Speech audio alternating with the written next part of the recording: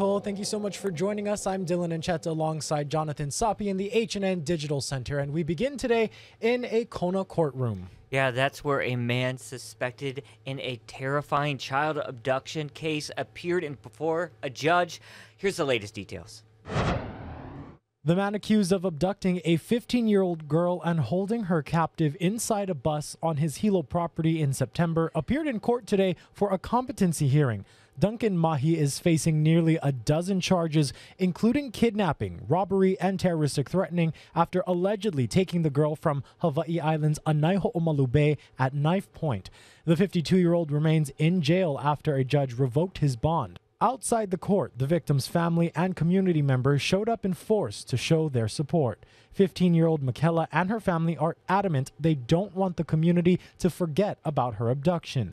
Mahi is set to return to court April 14th. Just